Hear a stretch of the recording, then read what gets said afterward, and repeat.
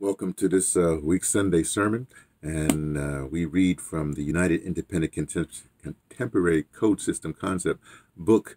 It's uh, by Mr. Neely Fuller Jr. It's a uh, compensatory uh, counter-racist code um, by uh, by Mr. Neely Fuller Jr. As I said, and this is the 2016 revised edition. There's a the original edition, original book came out in, in 1984 and uh, we actually have it. It's uh, it's housed, uh, it's bound. It's bound by Lovedale Press, which is a revolutionary press during the times of the old days of apartheid. This is why why this Lovedale Press is located in the Eastern Cape of Southern Africa, and uh, that original book. Uh, which is a it's, a it's a textbook workbook for thought, speech, and or action for victims of racism, whites, which Mr. Neely Fuller Jr. defines as white supremacy.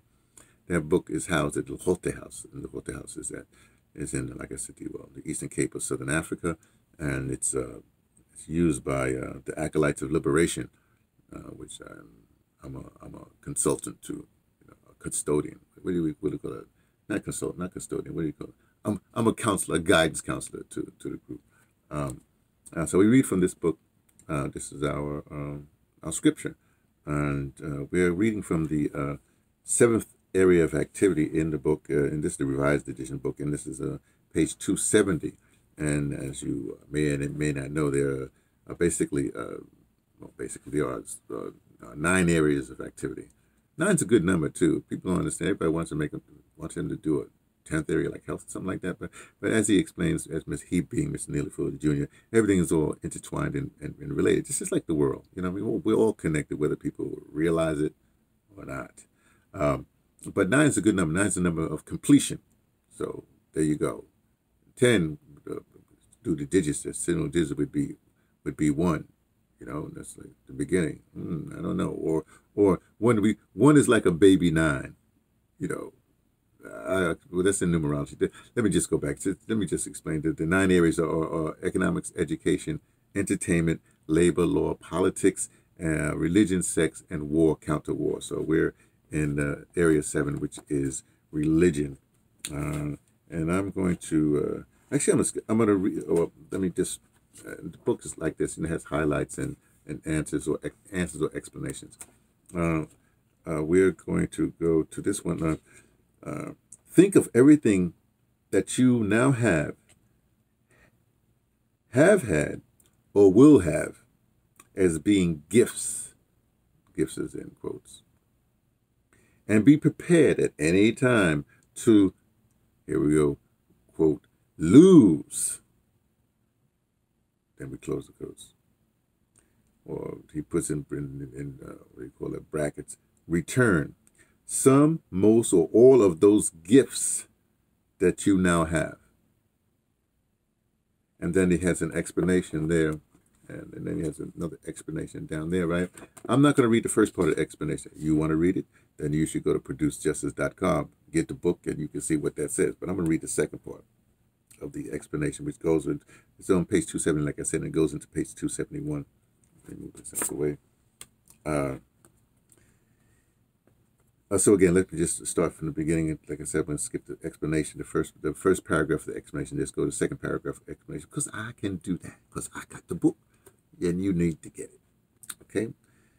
Think of everything that you now have, have had, or will have as being gifts. And be prepared at any time to lose or return some, most, or all of those gifts that you now have. Explanation, paragraph 2.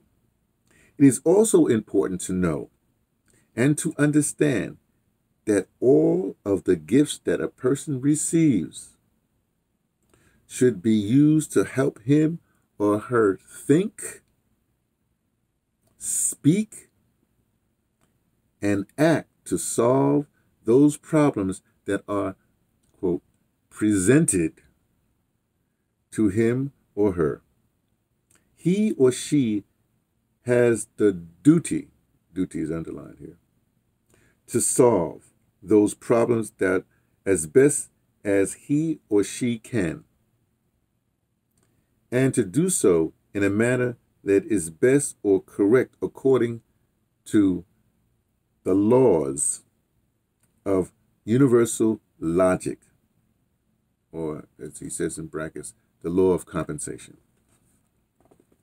Each person has a duty to discover this universal logic by seeking to find the reason he or she was put into existence at the time and place that he or she was allowed, that's in quotes, to exist.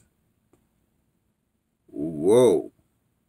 Each person has a duty to discover the, this universal logic by seeking to find the reason he or she is put into existence at the time and place that he or she was allowed to exist. Whoa, what's your purpose in life? I'm quite sure your purpose, I mean, some people think that, well, I'm not, so I don't know what some people think. But uh, take a drink of water here. Oh, it it warms it warms the cockles of my heart to know that you know you should have a purpose that uh, you, you know what we're talking about we being me t from the pattersons taking the train to tibet letting you know what we only suspect